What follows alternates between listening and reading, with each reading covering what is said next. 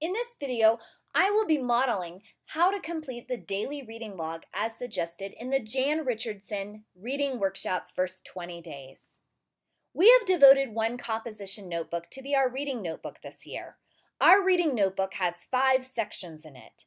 The first section, Part 1, is for the independent reading record.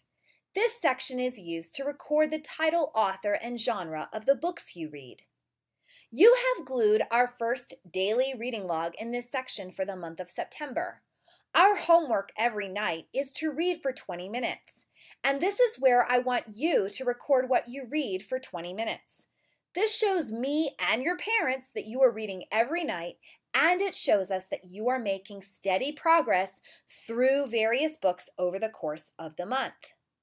The headers of your daily reading log are date, title, genre, and pages read. For the date, we would write September 2nd, or whatever day you begin, by writing 9 2.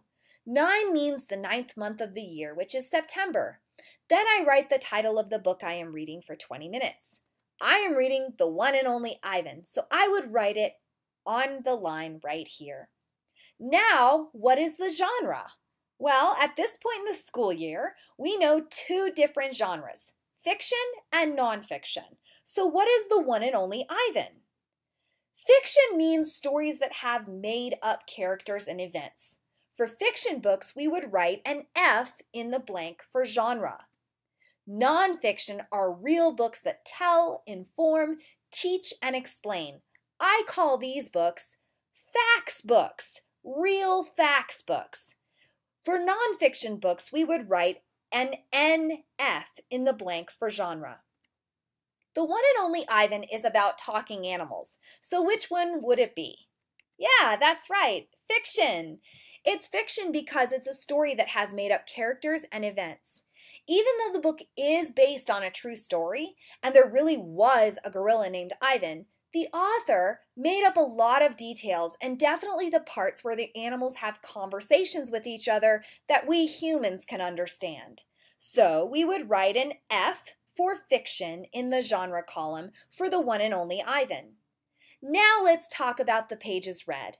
If I'm just starting the book, I would say I read pages 1 through 17 if I read 17 pages for my 20 minutes of reading.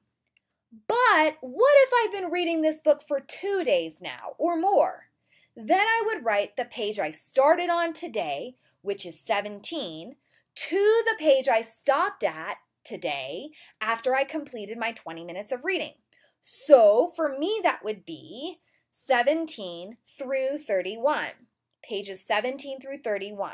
And since the one and only Ivan has bigger words and less words on a page, that makes sense that I can read more pages of it in 20 minutes than, say, a more challenging book that has more words on a page. After a few days, your log will start filling up like this.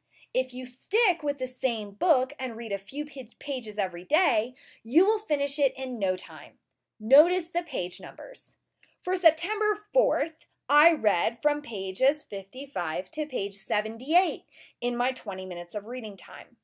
Keep in mind that you can include pages you've read here at school too. In fact, we will start to record what we read every day here too on this same log, so it will fill up by the end of the month. For example, let's pretend that I read on September 5th in the classroom during independent reading time.